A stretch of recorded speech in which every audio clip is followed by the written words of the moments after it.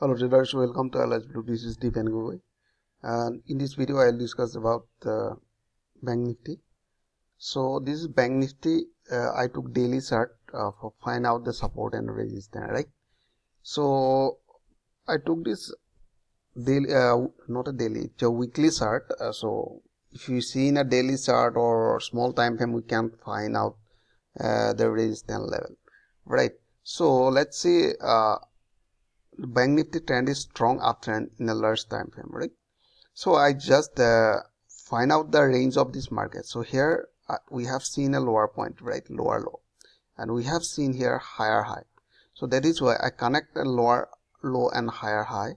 So we have seen the market is uh, running in this range right? So next we are targeting around uh, 33,000 upcoming future not uh, recent.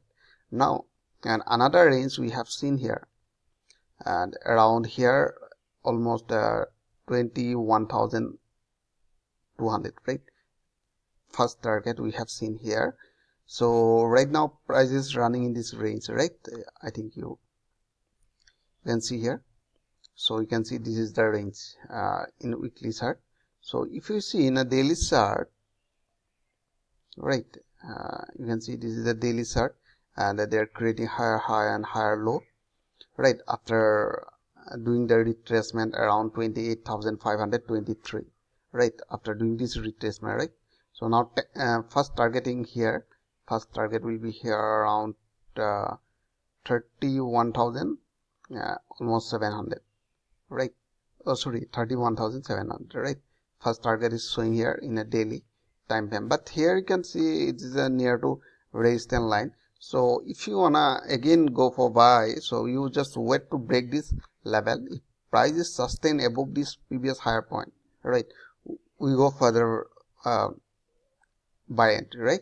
So now you can see here in a small time frame like uh, 15 minute so what market behavior is going on.